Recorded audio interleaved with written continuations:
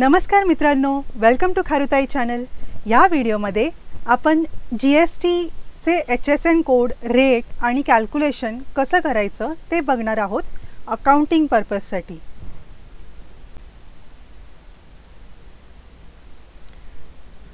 तर G S टीची जी टेक्स्टबुकमध्ये माहिती दिली आहे ती आधी आपण बघूया.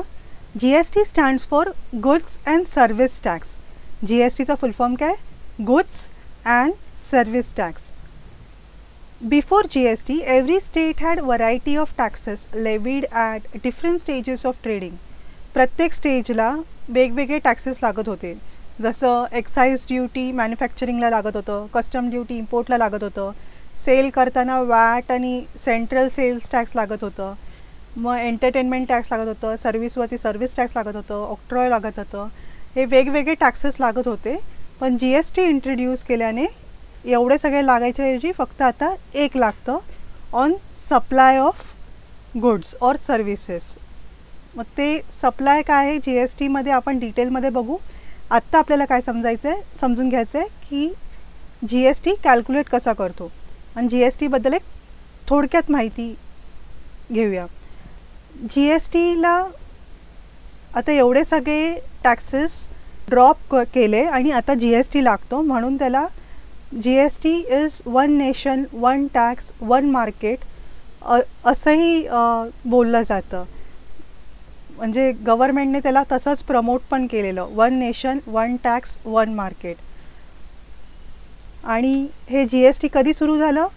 With effect from first July two thousand seventeen first July two thousand सेवन्टीनच्या आधी एवढे सगळे टॅक्सेस होते. फर्स्ट जुलैपासून त्याच्यावर हे सगळे टॅक्सेस ड्रॉप झाले आणि आपले जी एस टी लागू झालं. जी एस टीमध्ये रेट ठरवायच्या आधी आपण आधी तो गुड्स किंवा सर्व्हिस कुठल्या कोडच्या अंडर येतं आपल्याला ते शोधावं लागतं. इन टॅक्स इनवॉईस म्हणजे आपल्या टॅक्स इनवॉईसमध्ये पण आपल्याला एच एस एन आणि एस एस म्हणजे गुड्स आणि सर्व्हिसचा कोड द्यावा लागतो. गुड्स ला जो कोड आहे त्याला एच एस एन म्हणतात. एच एस एन म्हणजे harmonised system of nomenclature आता हे नाव मोठं आहे पण ह्याचा सिंपल अर्थ म्हणायला गेलं तर एक इंटरनॅशनल नेमिंग सिस्टम आहे. म्हणजे गुड्सला प्रत्येक जणांनी सेमच बोललं पाहिजे. म्हणजे नावं आपण प्रत्येक देशात वेगवेगळं बोलू शकतो. पण त्याला एक कॉमन काहीतरी आयडेंटिफिकेशन पाहिजे म्हणून एक हार्मोनाइज्ड सिस्टम असते गुड्सची. नोमेन क्लेचर म्हणजे नेम नावं नेमिंग म्हणतो ना नामाभिधान त्याला नोमेन क्लेचर म्हणतात. तर एक सिंपल गुड्सची लिस्ट आहे. एक जी सगळीकडे जवळपास सारखी आहे. आणि सर्व्हिससाठी तशी लिस्ट नाही तर ती आपण बनवली आहे. Service accounting code S A C code त्याला म्हणतात S S C code service accounting code हे लागतं. म्हणजे एक ह्या सर्व्हिस प्रत्येक सर्व्हिसला प्रत्येक गुड्सला एक कोड आहे जेणेकरून आपल्याला लगेच आयडेंटिफाय होईल की कोडवरूनच की कुठल्या प्रकारचं गुड्स आहे. तर हे बघायचं कुठे असतं शोधायचं कुठे असतं आणि त्याच्या बेसिसवरती आपल्याला रेट ठरवायचा असतो. तर ते प्रॅक्टिकली कसं असतं हे मी व्हिडिओच्या एंडला दाखवेन समरीनंतर पण टेक्स्टबुकमध्ये आपल्याला फक्त एवढंच आपल्याला rate G S T rate वगैरे दिलेला असणार एक्झाममध्ये एच एस एन कोड वगैरे विचारत नाहीत पण रेट वगैरे सुद्धा त्यांनीच दिलेला असणार साऊंडमध्ये तर जनरली रेट्स कसले कुठल्या टाईपचे असतात ते आपल्याला बघायचं आहे आता हे टेक्स्टबुकमध्ये दिलं आहे zero rated zero rated. Actually आता टेक्स्टबुकमध्ये दिलं आहे म्हणून तुमच्या टीचरने पण स असंच सांगितलं असेल त्याला झिरो रेटला झिरो रेटेड टेक्स्टबुकमध्ये दिलं आहे पण ॲक्च्युअलमध्ये त्याला नील रेटेड असं म्हटलं जातं. नील रेटेड असं म्हटलं जातं. झिरो रेटेडचा अर्थ वेगळा आहे ॲक्च्युअलमध्ये झिरो रेटेड म्हणजे एक्सपोर्ट करतो ना तेव्हा एक्सपोर्ट वगैरे करतो त्याला झिरो रेटेड म्हणतात. झिरो पर्सेंट रेट लागत असेल नील रेट लागत असेल तर त्याला आपण नील रेटेडच बोलतो. तर त्याच्यामध्ये कुठले काय गुड्स अँड सर्व्हिसेस जनरली येतात जे एकदम बेसिक आहेत जे कॉमन मॅनला लागतातच. म्हणजे खाणं पिणं basic food grain fruits vegetables milk salt हे सगळे बेसिक एसेन्शियल कमोडिटीज आहेत ते या नील रेटेडमध्ये येतात. आणि सर्व्हिसेसमध्ये पण जे बेसिक लोकांना हवेच आहेत म्हणजे काय agriculture transportation education health related हे जे बेसिक कॉमन लोक सगळ्यांना लागतंच इम्पॉर्टंट आहेत असे सर्व्हिसेस झिरो पर्सेंटमध्ये येतात. त्यानंतर एक फाय पर्सेंटचा स्लॅब आहे त्याच्यामध्ये थोडे एसेन्शियल पण थोडे इम्पॉर्टंटवाले आहेत जे थोडे लो रेटमध्ये लावले जातात. नॉर्मल रेट कसा ट्वेल्व एटीन पर्सेंट आहे तर ह्याच्यापेक्षा हा ह्याला कमी तरी पण इम्पॉर्टंटच आहेत. हे असे टी कॉफी हनी व्हेजिटेबल्स बघायला गेलं तर हे पण थोडे कॉमनली यूज्ड आहेत. Railway transport bus transport taxi services वगैरे हे फाईव्ह पर्सेंटने येतात. आता टेक्स्टबुकमध्ये जे रेट्स दिले आहेत जे गुड सर्व्हिसेस दिले आहेत ते टू थाउजंड सेवन्टीनचे वगैरे आहे त्यानंतर असं होऊ शकतं की काही रेट्स बदलले असू शकतात. अमेंडमेंट्स वगैरे झाले तर ते आपल्याला ही काय फुल अँड फायनल लिस्ट नाही आहे हे आपल्याला समज अंदाज येण्यासाठी की कुठले रेटचे रेट्स असतात जी एस टीमध्ये ह्याचा अंदाज येण्यासाठी हा भाग आहे. त्यानंतर आहे स्टँडर्ड रेट्स म्हणजे ट्वेल्व पर्सेंट आणि एटीन पर्सेंट हे स्टँडर्ड लागलं जातं. म्हणजे जनरली त्याच्यामध्ये consumer goods butter ghee dry mobile phones printing job guest house construction perfume computer हे सगळे courier circus drama outdoor catering हे सगळे स्टँडर्डमध्ये येतात. ट्वेल्व पर्सेंट आणि eighteen percent. Eighteen पर्सेंटमध्ये most of the services goods and services include आहे. आणि नंतर एक स्लॅब येतो ट्वेंटी एट पर्सेंटचा जो हायली रेटेड म्हणजे एकदम लक्झरी आयटम्स गाड्या वगैरे ते गोष्टी येतात त्याच्यामध्ये. आता ॲक्च्युली हे बाकी सगळे पण बऱ्याच गोष्टी एटीन पर्सेंटमध्ये आणून ठेवल्या आहेत अमेंडमेंट झाल्यानंतर. तर आपल्याला ही काय फुल अँड फायनल लिस्ट नाही आहे आपल्याला कुठे जाऊन बघायचं ते मी व्हिडिओच्या एंडिंगला दाखवेन. आता हे बघा गवर तिथेच खालती नोट पण लिहिलं आहे the rates and types of G S T are prescribe by the government G S T rates are subject to change म्हणजे मध्ये अमेंडमेंट पण आले असतील तर हे कॅटेगरी बदलले पण असेल. म्हणजे वॉशिंग मशीन ह्याच्या ट्वेंटी एट पर्सेंट दाखवलं आहे पण आपण बघू तो आता ट्वेंटी एट पर्सेंटच आहे का हे नंतर आपण बघू.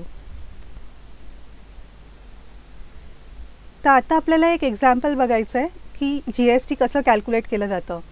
Purchased laptop from Jalaram and company worth rupees fifty thousand at eighteen percent G S T and amount paid by cheque असं जर ट्रान्झॅक्शन आहे तर कॉस्ट ऑफ लॅपटॉप येणार पन्नास हजार पन्नास हजारला घेतलं आहे आणि पर्सेंटेज त्यांनी दिलं आहे म्हणजे ह्याच्यावरती आपण जी एस टी कॅल्क्युलेट करणार. तर जी एस टी दोन प्रकारचे असतात. म्हणजे ॲक्च्युली तीन प्रकारचे असतात.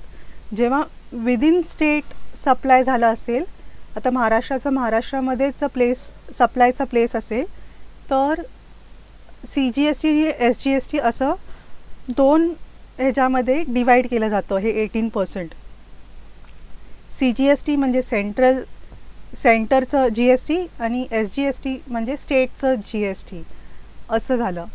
मग आपण ह्याच्यावरती एटीन पर्सेंट म्हणजे nine and nine percent calculate करणार आणि दाखवणार fifty थाउजंडवरती four thousand five hundred four thousand five hundred मग टोटल कॉस्ट काय होणार लो लॅपटॉपची फिफ्टी नाईन थाउजंड म्हणजे आपण चेक जी अमाऊंटने अमाऊंट जी पे केली आहे ती कुठली असणार? फिफ्टी नाईन थाउजंड ओके मग आता त्याची एंट्री कशी आपण पास करणार? आपण एंट्री जर्नलच्या जर्नलमध्ये आता बिझनेसचं इथे कुठे नाव दिलं असेल तर बिझनेसचं नाव इथे लिहिणार. Journal of so and so तारीख दिली असेल तर तारीख लिहिणार. आणि त्याच्यानंतर पुढे काय परचेस केलं आहे लॅपटॉप मग लॅपटॉप अकाउंट लॅपटॉप अकाउंट कितीचं आहे? पन्नास हजारचं ना? पन्नास हजार. फिफ्टी थाउजंड आणि आता C G S T S G S टीचं कसं करणार? आपण जेव्हा परचेस करतो तेव्हा input C G S T input S G S T असं वापरतो. इनपुट जी एस टी म्हणून आपण अकाउंट क्रिएट करतो. आणि जेव्हा आपण सेल करतो तेव्हा आपण आउटपुट जी एस टी जे काय असेल C G S T S G S T असं अकाउंट क्रिएट करतो. जर विदिन महाराष्ट्र म्हणजे विदिन स्टेट ज्या स्टेटमध्ये बिझनेस ओनर आहे त्याच स्टेटमध्ये जर सप्लाय झाला असेल तर त्याच्यावर सी जी एस टी आणि एस जी एस टी लागतं. आणि रेट त्याचा अर्धा अर्धा होतो. आणि जर स्टेटच्या बाहेर जिथे मी रजिस्टर्ड आहे त्याच्या बाहेर जर गुड्स किंवा सर्व्हिसेस दिले असतील तर त्याच्यावरती आय जी एस टी लागतं. आय जी एस टी लागतं. हे इंटरस्टेट सेल्सवरती लागतं असं म्हणता येईल. विदिन स्टेटमध्ये G S T C G S T S G S T आणि इंटरस्टेट असेल तर आय जी एस टी लागतं. मग ते पूर्ण एटीन पर्सेंटचं लागणार. ओके? आणि परचेसला इनपुट सेलवरती आउटपुट असं असणार.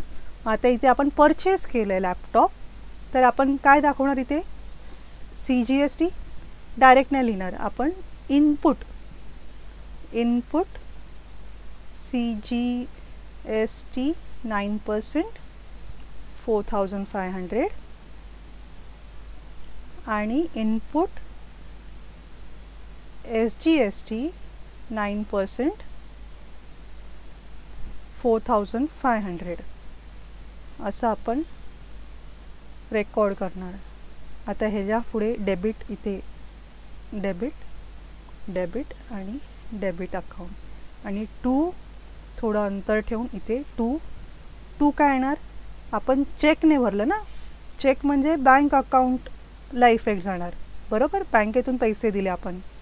तर to bank account fifty nine thousand he total amount आपण लिहिणार. Fifty nine thousand with G S T amount pay करतो ना आपण म्हणून. आणि इथे लिहिणार नरेशनमध्ये बिईंग लॅपटॉप ॲक्च्युली नरेशन लिहिणं खूप सोपं असतं. जी आपल्याला ज म्हणजे ॲटलिस्ट एक्झाममध्ये तरी जे एक्झाममध्ये क्वेश्चन विचारलं असतो तेच शब्द आपल्याला डिटेलमध्ये लिहायचं असतं. बिईंग काय वर्किंग वगैरे असेल तर ते वर्किंग पण त्यात दाखवायचं असतं. Being laptop from Jalaram and company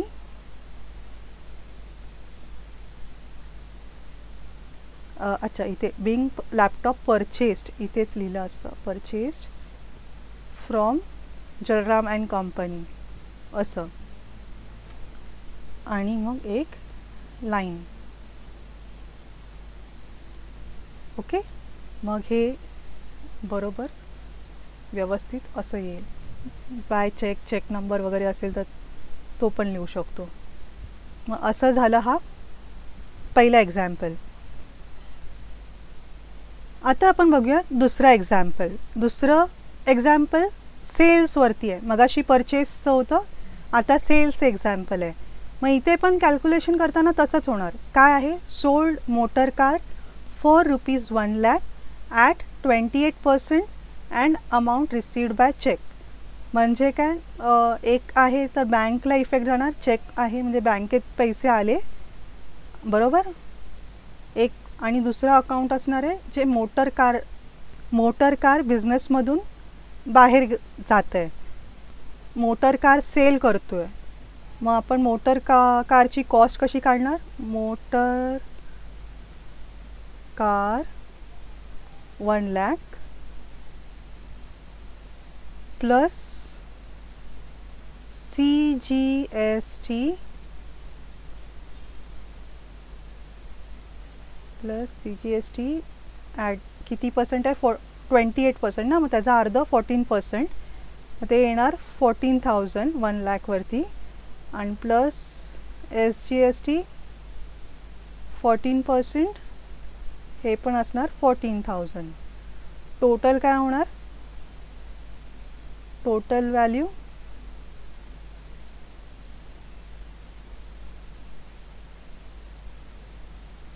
one lakh twenty eight thousand असं आपलं वर्किंग होणार हे कॅल्क्युलेशन होणार. आणि मग नरेश आपण जर्नल एंट्री कशी पास करणार? आत्ता आपण जर्नलचा फॉर्मॅट पण ड्रॉ करूया प्रॅक्टिस म्हणून.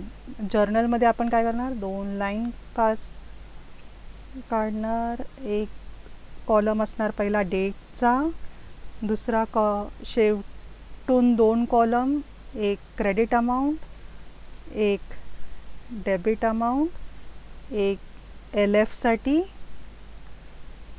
आणि वरती लिहिणार आपण जर्नल ऑफ आपल्याला इथे कोण आहे माहीत नाही. इथे date particulars L F debit credit